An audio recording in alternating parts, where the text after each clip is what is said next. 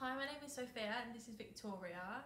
We are both third year students about to go into our fourth year of our Advanced Legal Practice Masters here at Kent. So what was your main reason for applying for the M-Law?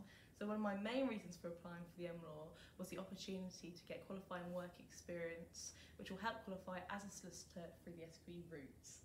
And then my second reason was the undergraduate funding, which can come through your undergraduate loan, fourth year. Get on with the paralegal scheme. The scheme was really, really great. So from the scheme, I was able to get lots of interview experience through the different job interviews. And from that, I was able to get six job offers. Um, and I start my job at Felly Page on Monday. What area of law are you interested in? So the main area of law I'm interested in is criminal, and this is great because through the scheme, I managed to secure a job at Tuckers, which is a national criminal law firm. What your most interested you?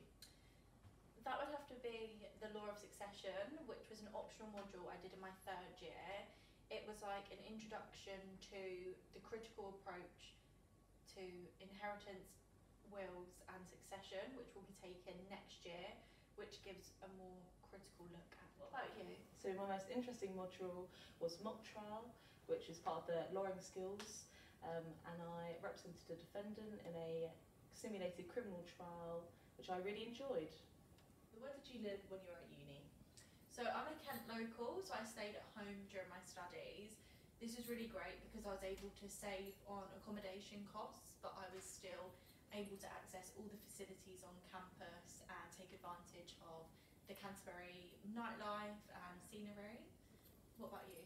So my first year I lived on campus um, at Turing College and it was really great because I was close to the library, I was close to all the shops and I formed some great friendships and then we decided to move off campus and we're closer to the town which is really lovely. It's got a great atmosphere for students.